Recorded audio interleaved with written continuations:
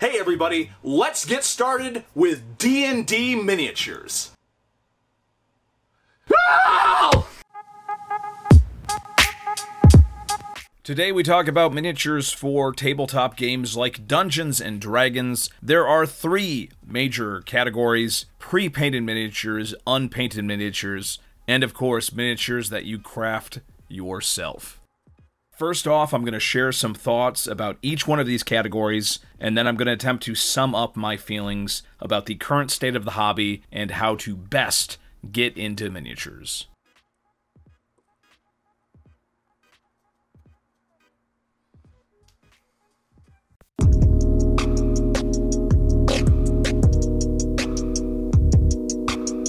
Some of the most popular videos on this channel are about me finding alternative miniatures, which are generally going to be pre-painted miniatures, which are going to roughly fit in with the scale and purpose of D&D miniatures. Finding those is going to be hit or miss. Whenever I do a video, then generally speaking, that video is not going to be evergreen. For example, Dreamblade miniatures used to be very cheap online. You could find these everywhere for pennies on the dollar. No longer. Uh, you can see on the left is the Knobby White Spider, an excellent Hasbro miniature, which is still available around the internet for super cheap. But that dragon from Dreamblade next to it, no, that is no longer cheap at all. There's always going to be the odd company out there like EM4, which puts out this excellent set of metal pre painted miniatures. But sadly, probably the best miniatures on the market right now are still the old Hasbro pre-painted miniatures for several reasons, uh, mostly because of the durability and the uh, fact that they have all the very specific D&D miniatures that everybody wants. Throw them in a backpack, carry them to the game, throw them in the backpack again. They're probably going to be fine. It's very difficult to chip the paint job, and like I said, the variety sculpts on these are generally really good, excellent use of translucent materials. But unfortunately, the price has pretty much shown that a lot of people are now interested in collecting these rather than just using them for games, which means the price has gone up a lot. So now the conversation turns to the very mixed bag that is the modern WizKids D&D miniatures. There are so many excellent miniatures that have been produced, and there are so many of them that are just subpar. And frankly, it's a really tough thing to recommend, though. Even though there are the miniatures that I really like, they are sold primarily as blind boxes. So the only chance you'll have to get a really good deal is hope that the prices that the resellers set and the secondary sellers set at the start of a uh, release is going to be cheap. Uh, these flail snails, I believe, were relatively affordable at the start, but then they went up in price. And of course, you can always find a really expensive, really cool miniatures if you just roll the dice on those blind boxes, but you're never guaranteed anything. Listen, the truth is, if you like pre painted miniatures because you don't have the time to paint your own, or you just like them for collecting, you're kind of in a rough spot right now. You'll probably just have to wait and see if a new company starts large scale production on pre painted stuff, or simply wait for sales. Uh, I know with some of the less popular uh, Pathfinder and D&D sets, those do go on sale on sites like uh, Amazon and Miniature Market and Cool Stuff and Company every once in a while. And with the other Hasbro stuff, well, if you really like one of the pre-painted miniatures, then I suggest you look for a sale now because they're just going to keep on going up in price. Uh, many different companies uh, have all tried to do the whole pre-painted things on a very small scale. I could mention a bunch of them, However, none of them have really put together a good product. I know that in the past, Reaper Miniatures did do a pre-painted line, and recently they they put their toes in their water again with a very expensive but very large and impressive pre-painted dragon. So yeah, I mean maybe in the near future somebody will crack the code But uh, other than that, just look for alternative pre-painted stuff when it when you see it around, uh, because there are miniatures out there that still can be used for D and D that aren't specifically made for D and D. It's just much easier to find unpainted ones rather than the pre-painted ones.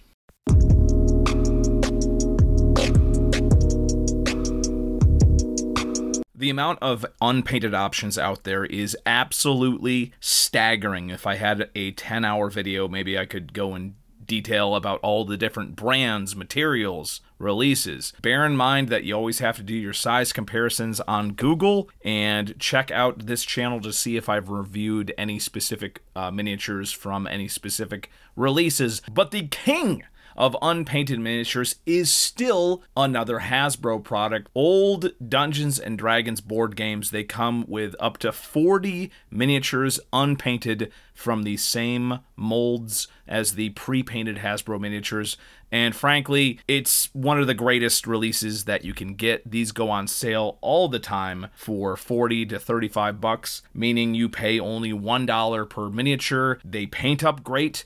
They take most primers okay. Simply put, the best set for D&D specific miniatures. However, there are a plethora of other choices out there. But you know what? I still want to talk about these a little bit longer. These are some of the first miniatures I ever painted. For whatever reason, the sculpting, uh, I think it's just the simplicity with enough details to make it interesting to paint, even for a beginner and it's good to have multiples of the miniatures you're kind of going to get in these. You get a bunch of zombies in a bunch of the different sets. You can get ghouls like these, very specific D&D miniatures that uh, you're going to eventually use in your game. And of course, the very specific D&D monsters, the D&D troll, the mind flayer, the specific loth demon, and of course, the gibbering mouther excellent miniatures and like I said very specific D&D miniatures which you're going to find in other sets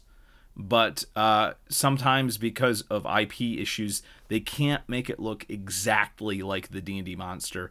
You're not going to have that issue with these sets. They're going to look exactly like the D&D thing that they're representing. And of course, a lot of the miniatures out there like the uh, Artemis Entreri miniature, the true hero of the Forgotten Realms. Uh, his unpainted version, obviously, much, much cheaper than his pre painted options. Even though I'm a big fan of this man, I don't even own the original Hasbro pre painted one. Uh, maybe in the future. Uh, here we can see a Reaper Bones miniature compared to a D&D board game miniature. Obviously, they're both cool, but the D&D board game miniature already has the uh, the base built in for D&D stuff. Here we have a bunch of the Reaper miniatures. Reaper Bones Black on the left and regular Reaper on the right. And we have the Wizards of the Coast official miniatures through WizKids. And yes, a lot of these can be really good. I actually really like the WizKids unpainted stuff because it's pre-primed. A lot of people strip the primer, but I don't.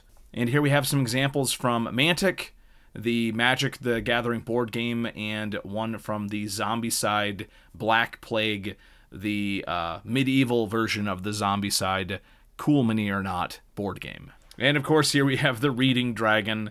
That's from Wildspire Miniatures. A joy to paint up. Uh, look for Wildspire Miniatures on Amazon. That's on my Amazon shopping list as well.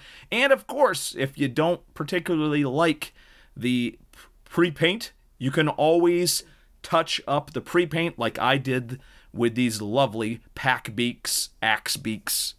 You can see I, I, I touched it up a little bit, and I think it makes a world of difference showcasing off a chainmail gnoll from the chainmail miniature lines. Obviously, metal miniatures are going to have lots of advantages and some disadvantages from the newer plastic ones. And of course, 3D printed miniatures. I don't have a 3D printer. However, there's been a couple cases where I've gotten some excellent 3D printed stuff.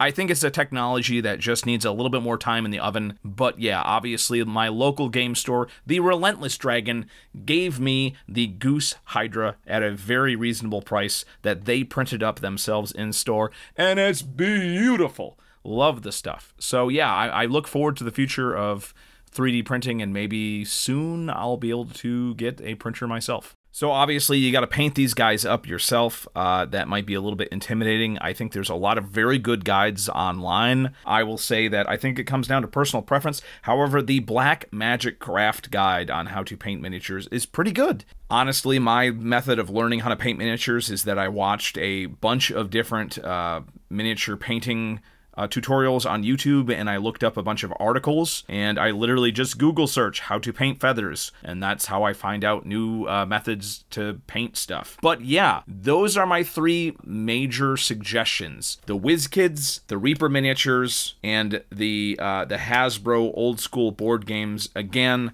Uh, all of the Hasbro old school board games are linked in my Amazon store. You can find that link below for D&D stuff. And again, you should visit your local gaming store to see what they have in stock. That is the absolute best way to find out what sort of miniatures that you like the look of. Seeing them in person is always the best shopping method.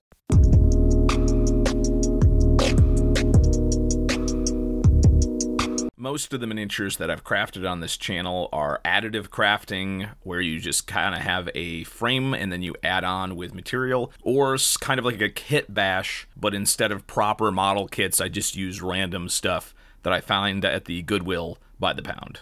I learned how to craft miniatures by Google searching tutorials and looking on YouTube, but obviously the biggest inspiration is the Tabletop Crafters Guild. But why craft? Certainly you can buy or 3D print or pay somebody to 3D print you practically anything you need. Well, if you really want something very specific or something that is specifically yours, then crafting is a long, time honored tradition in order to make your game completely unique. And that's what I really love about crafting, and that's why I love crafting. You'll notice a lot of my miniatures are very bizarre and generally not stuff that you could find anywhere else. You can check out how I crafted all of those miniatures on the other videos on this channel. So, I'm just going to try to sum up some thoughts in this last bit. One take, baby, let's go. I've been collecting for a while now. My biggest advice is visit your local game stores. It's good to support local businesses, uh, but you got to visit there to see if you want to support it. A store that tries to pressure you to buying the newest or most expensive stuff is not great. Other stores even sometimes inflate the MSRP, which is crazy, but apparently some stores do that. I've seen it. That's not great either. Many places will sell miniatures as a very secondary product line to other things that they want to sell, mostly collectible cards. But these places will sometimes also have really good sales because eventually they'll just want shelf space for new product and they really don't care that much about the miniatures. So it's give and take. I'm lucky enough that some of the places near me have excellent sales during events like the Free RPG Day when there's discounts on nearly all of their products, including ones that generally never go down in price, including online. But the most important thing about visiting your local store is that you'll get to see the miniatures in person. Most miniature companies nowadays, even the smaller ones, use digital renders to promote and market their product. And the actual miniature that you see can be very disappointing by comparison. Occasionally, the opposite can also be true, especially with miniatures with translucent materials. Sometimes they much they look much nicer in person and the 3D render does not do them justice. Minis Gallery is the premier website to visit if you want to see actual pictures of the latest and greatest miniature releases. They've even started to do YouTube videos. This site combs over the internet to be some of the first places where you can go to show what the actual physical miniatures look like. Uh, for actually purchasing miniatures, if your local store uh, doesn't have any deals or you can't find them. Mainstream sites like Miniature Market and Cool Stuff and Company are your friends, especially when it comes to board game miniatures that can be used for D&D. They go on sale a lot. Uh, these sites feature free shipping if you pay them enough money, which is an incredibly good deal nowadays when shipping is just very expensive. Uh, you have to sign up for the email notifications because stuff on Miniature Market will disappear within mere seconds. of the sale starting. So sadly, that's just the way it is. If there's a really good deal and there's really good stuff for sale, it's going to go pretty much within the first hour. eBay lots are a mixed bag. Look for different spelling variations of D&D miniatures. Anything properly labeled with D&D miniatures or Dungeons and Dragons miniatures will get sold quickly. So follow a bunch of terms and make sure you sort by newest buy it now or ending soonest auctions to see if there's any good deals that don't have that many bidders or watchers. Also, the specific name of the miniature that you're interested in is a really good term because sometimes people will just list the miniature by its name and not mention D&D. No matter what method you use, have a plan. It's okay to get certain miniatures that you love. For example, the knobby white spider from the Star Wars miniature game from Hasbro. Buying a bunch of miniatures from this line would have been a pain to deal with because I don't really use that many of them, but I really liked that knobby white spider, and I'm so glad I bought it when I did. It's still available for cheap, but I think I got it for under five bucks, which is a, a massive deal. There's always the option of buying a big lot of miniatures and reselling the rest, but that does take time. And trust me, time is not an unlimited resource, neither is space. Unless you really know what you're doing, you don't want to get into the idea of just like buying and reselling. That's that's kind of a real pain right now unless you really want to invest time, money and space into getting the absolute best deals. Sometimes it's just simpler to just look for a better deal in the future or just pay a premium if you really want that miniature. In the in the past, Hasbro had several lines of pre-painted miniatures, and the sculpting and durability was amazing on some of them. The uh, painting, it, it wasn't really that great, but thanks to the heat processing, heat annealing, uh, that paint is going to stay on the miniatures and that's why people have really continued to appreciate lines like the D&D miniatures. They are probably going to be around for until they're going to be around for a very long time and the paint's going to be around there too. More and more people are collecting them and since there are no miniatures of that quality being made today, uh, they're becoming more and more collectible and thus more and more rare and more and more expensive. Uh, when it, comes to pre-painted stuff, there was several lines of limited pre-painted miniatures from smaller companies, but those are pretty rare to find nowadays. I talked about uh, Reaper's uh, Legendary Encounters line, which was a very popular line, which is I, I don't even see that being sold anywhere for a reasonable price anymore. Um, when I started collecting, there was a game called Confrontation: Age of Ragnarok and that was a war game with pre-painted miniatures and it was super cheap. I'm talking about way less than a dollar per miniature. And now it's super collectible and the same sets that i used to see for five dollars are now like 30 bucks a pop on ebay. It's one of the very few pre-painted war games that's ever existed. And there's going to be more alternatives out there for sure. You have while you have a lot of choices for unpainted, the pre-painted stuff, I think we're just gonna have to wait for technology to catch up. And then every once in a while, you're gonna be able to find some pre-painted thing which is gonna fit in well with D&D.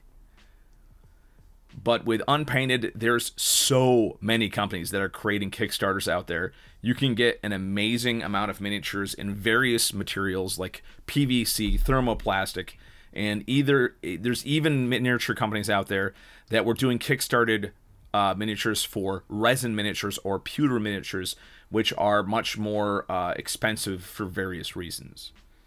But I think that will go kind of in waves. And especially now, pewter's super expensive, so I don't see anybody doing a pewter uh, miniature collection anytime soon.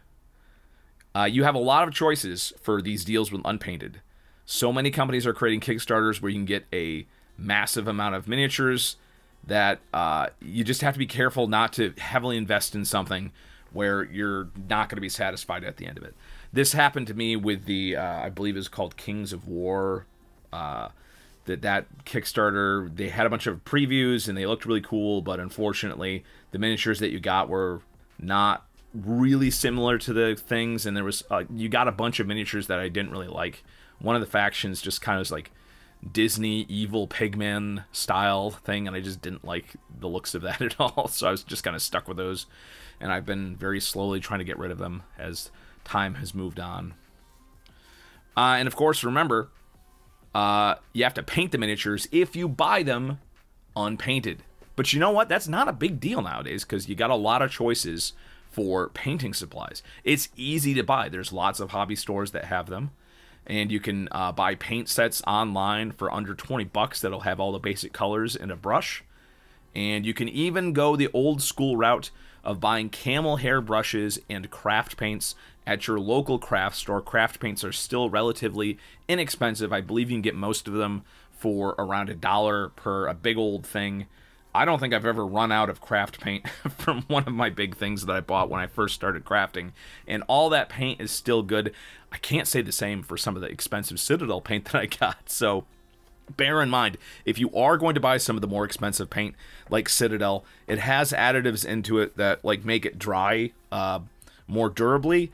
I believe, again, I, I don't know exactly what the the um, different ingredients are, but it has a habit of drying out much more quickly than El Cheapo craft paint. I'm, I'm just I'm shaking this old El Cheapo craft paint right in front of the mic, and it is still good. But uh, yeah, so if you're gonna buy the expensive paint, make sure that you have a project where you're going to need to use it or you really like it. Um, so yeah, and again, that's another good place where you can use your local hobby store because you can go in there and try out a couple of paints and see if you like it. Uh, that's what I did with the scale color stuff. And oh my god, some of the scale color stuff that I've gotten is amazing. My absolute favorite uh, color is their Metal and Alchemy, the Necro Gold. I love this stuff. I've used it for everything. And I would have never heard about it until I like actually went to the game store and I saw it in person. I saw the color in person. I was like, you know, that looks really interesting. So, yeah, again, I've done lots of stuff. I know Black Magic Craft has done a very good thing about getting started with painting, uh, as well as a bunch of the other people on the Tabletop Crafting Guild. So you can just browse YouTube tutorials and get a good idea of how to uh, get started with that. I guess that's it. This was my big video about getting started with D&D miniatures. Uh, I just wanted to do a generic video that would answer maybe some of the easier questions that people had. If you have any questions, please let me know in the comments below. And thanks a lot for watching the video. I really appreciate it.